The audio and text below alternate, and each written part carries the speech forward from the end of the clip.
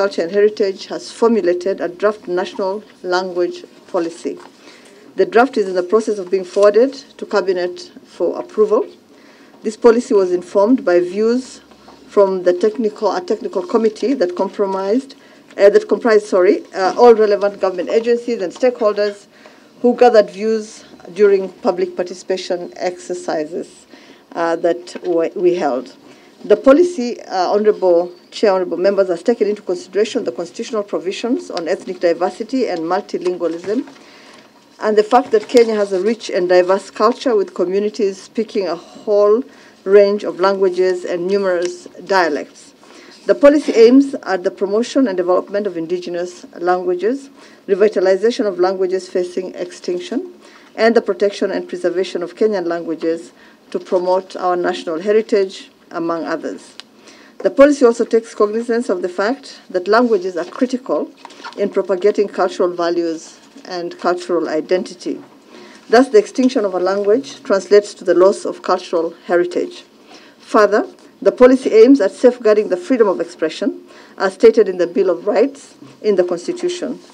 In so doing, protects and appreciates our linguistic diversity, including indigenous languages, the Kenya Sign Language, Braille, and other communication formats and technologies accessible to persons with disabilities. Honorable Chair, the policy recognizes other leg legislative frameworks related to language promotion, such as the UNESCO conventions, uh, the AU and EAC uh, policies um, and frameworks, Pan African forums, among many others. The policy envisions that the promotion and protection of languages can be achieved if communities and other stakeholders are included in the process. It's worth noting, uh, Mr. Chairman, that indigenous languages are mainly spoken in rural settings, and it's in this regard that the policy recognizes the important role of county governments as major players to the implementation of that policy.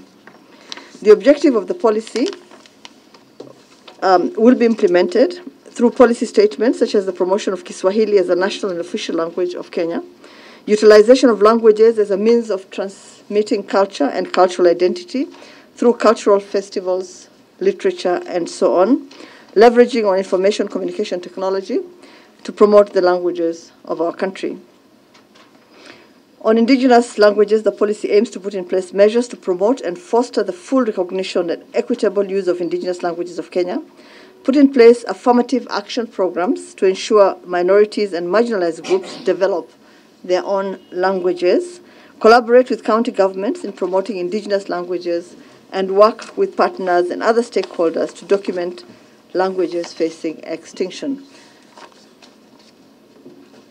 Despite uh, this development, there are multiple challenges that need to be addressed, which include the loss of cultural knowledge, negative attitude to indigenous languages, inadequate resources for language development, and dynamism in urban language development.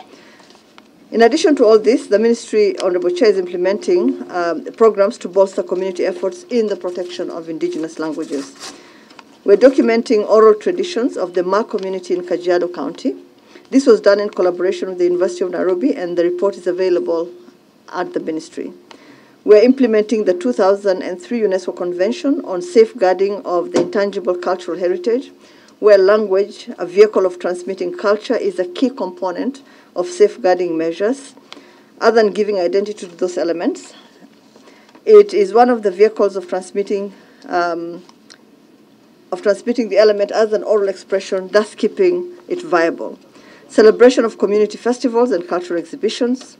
Examples include the Uraget Cultural Festival in Tharaka-Nithi, Loyangalani festivals in Marsabit, and Rusinga Festival in Homa Bay, all of which we continue uh, to organize, support, and attend.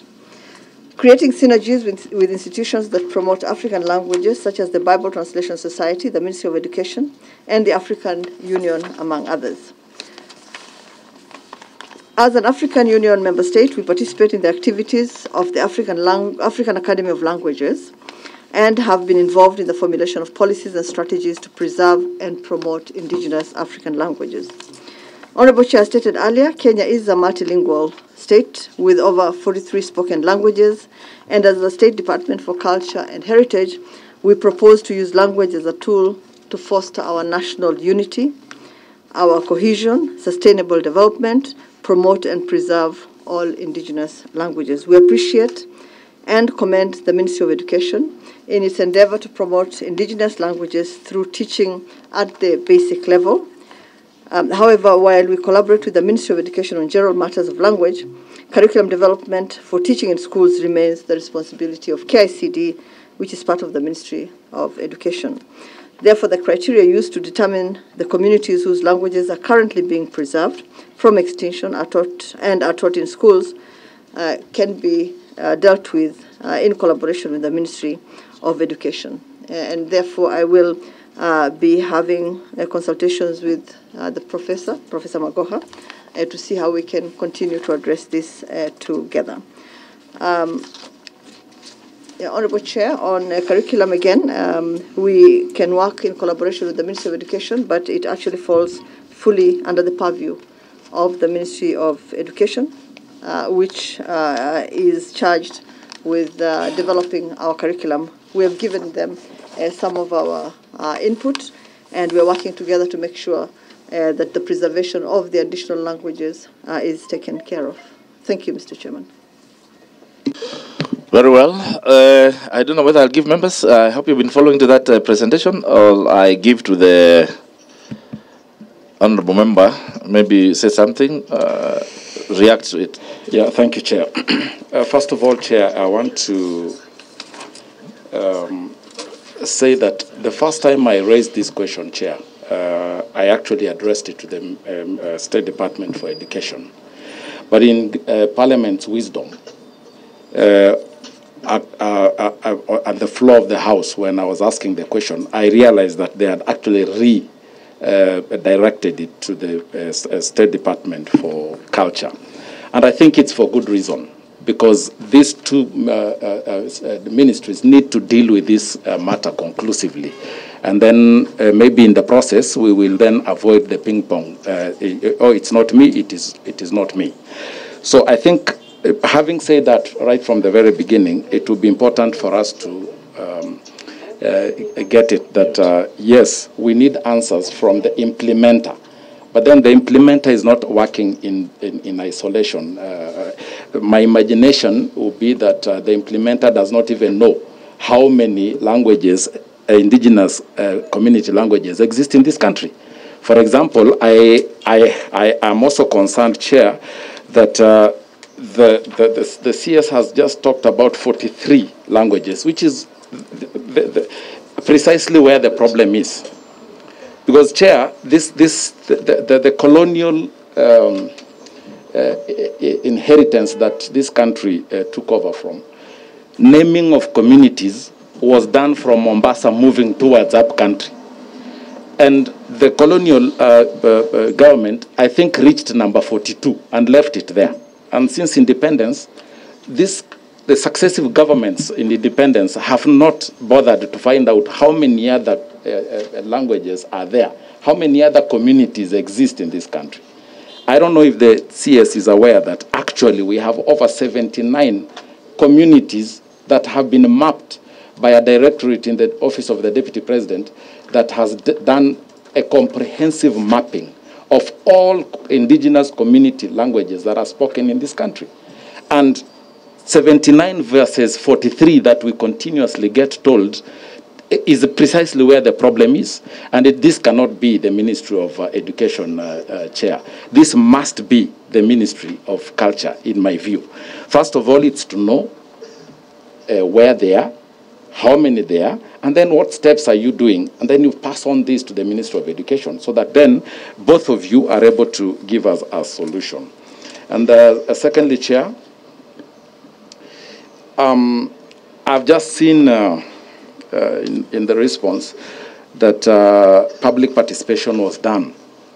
A chair to to be helpful to know exactly where this was done because we have uh, unfortunately a culture in this country that whenever uh, minority communities are spoken of, uh, people will rush to the Maa community and then they assume they have sorted the issues of minorities. Because the, the, the, same, the same places we are being told, like now Maa community, which is good, and then uh, um, the other one is which one? Three of them. And it's uh, traditionally that is where everybody goes. What, what, what happens to the other small communities that, uh, God forbid, there are probably only 300 uh, in total, you know, in, in their total existence. So, Chair, that would be a, a, a cause for concern, which I would also invite the CS to address herself on. And then there's the issue of sustainability, just teaching, uh, uh, uh, developing a curriculum uh, that may not necessarily help preserve the languages. What other measures are there? For example, do we have any commitment to uh, maybe using radio like has been in the past? Is there any other way of uh, uh, uh, saving content? First of all, it needs to be developed. The people who actually know this are old people now, probably in, on their verge of extinction themselves. And, yeah, so Chair, in, in, in, in, in- in short, this is a whole ecosystem of preservation that needs to be dealt with. Sheila, that girl right here, we are losing, we are losing the thing again. Where is it?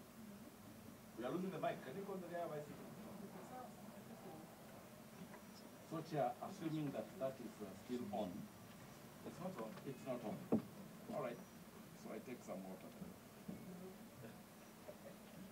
But you are not it. You are not it.